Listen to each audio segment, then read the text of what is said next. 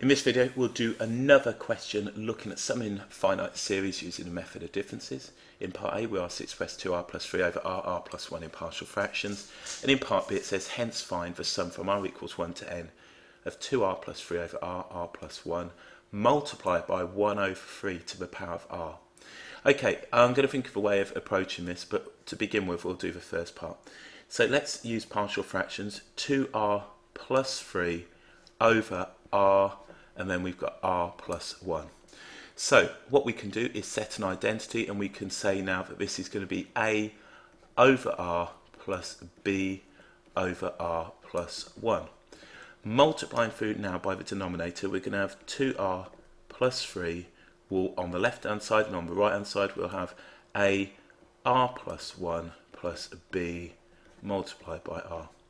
Considering the terms in R, AR plus BR is equal to 2R, so A plus B is equal to 2. And then if we look at the constants, we've got A is going to be equal to 3. So we can now say that B must be equal to minus 1. So there we go. What we've got then is, if we express this in partial fractions, we've got 3 over R minus 1 over R plus 1. So there we go.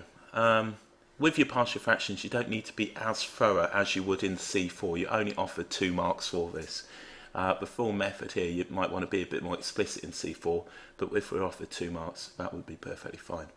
So a statement I could make based on using the sum um, of a finite series using the method of differences is that the sum from r equals 1 to n of 2r plus 3 r r plus 1 will be equal now to the sum from r equals 1 to n of what we've just found, which is 3 over r minus 1 over r plus 1.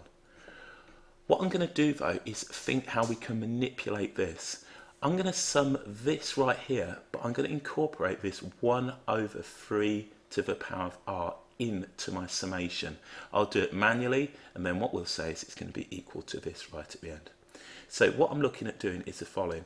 I'm looking at summing 3 over r minus 1 over r plus 1 and I'm going to now multiply this by the 1 over 3 to the r.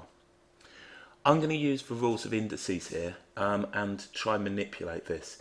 If I multiply this one right here, what I'm going to have is 1 over 3 to the power of r minus 1 multiplied now by r. That's a bit, if you just consider now what this is, is if we make this using rule of indices, if we could rewrite this as 3 to the r minus 1, if we have 3 to the minus 1 in the denominator, the 3 is going to end up there. So we can multiply that and make it, say, 1 over 3 to the r minus 1 multiplied by the r.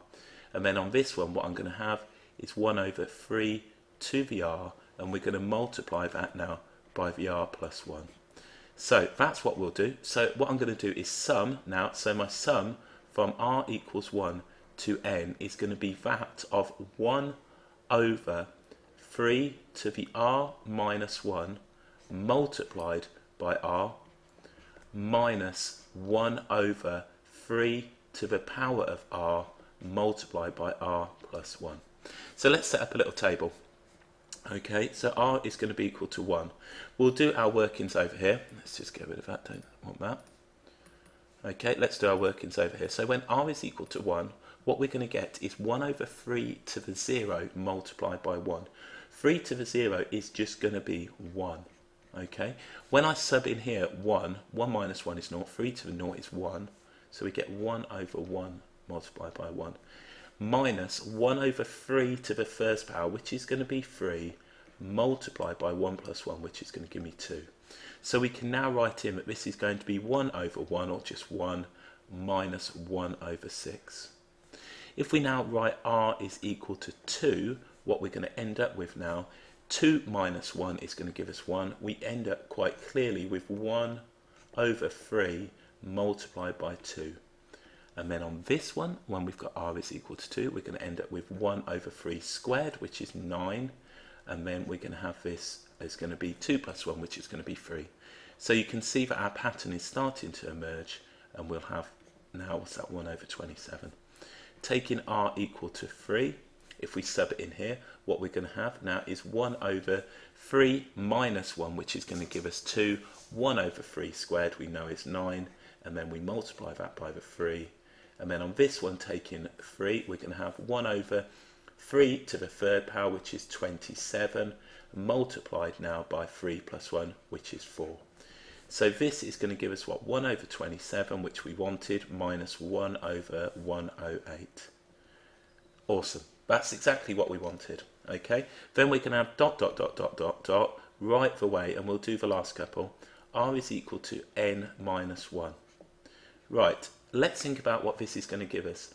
This is now going to give me, and we'll be careful with this, we've got now r to the uh, 3 to the r minus 1. So this is going to give me 3 to the n minus 1 minus 1. So this is going to give me now 3 to the n minus 2. And I'm going to multiply that now by r, which is going to be n minus 1. And we're going to subtract away from that. We're putting in now, now uh, the r is equal to n minus 1. So we get now 3 to the n minus 1. And we're going to multiply that now by n minus 1 going in here is just going to give me n. Those ones will cancel.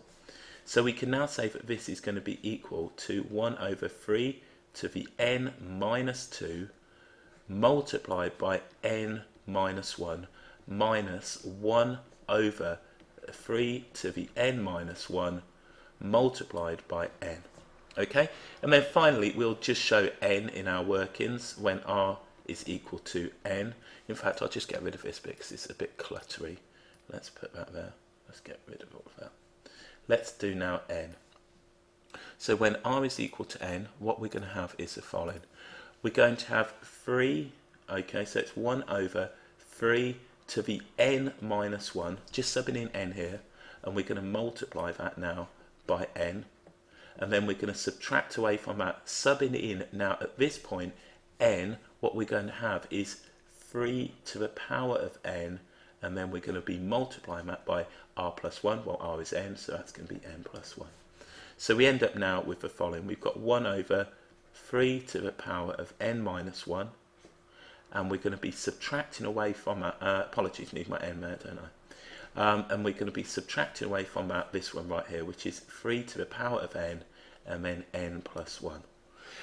Okay, so there we go. Um, now it's just a case of using our understanding that when we add this, they're all going to drop out. Let's start getting rid of them. So let's grab that one. That's what we want. So that one is going to go with that one. So just there. That one is going to go with that one. That one is going to go with the one below and so on and so forth. And you can see this one is going to go with that one Therefore, this one is going to go with the one above it, and so on and so forth, leaving us now to make the statement that the original sum that we were looking for is going to be equal now to 1 just here.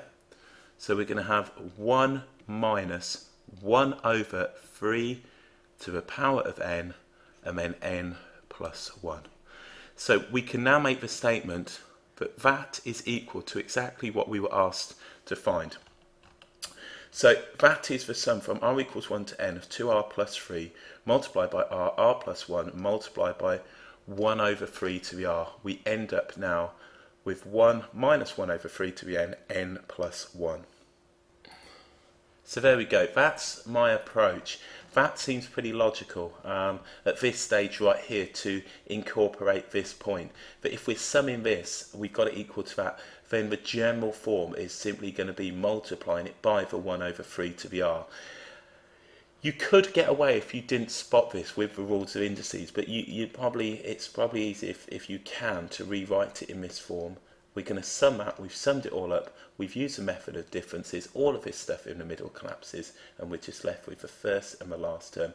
You might want to be slightly more explicit in, in, in your workings in an exam and show this, but this is where we should wind up 1 minus 1 over 3 to the n, n plus 1, and I see no logic in combining that fraction at all. We will leave it as it is.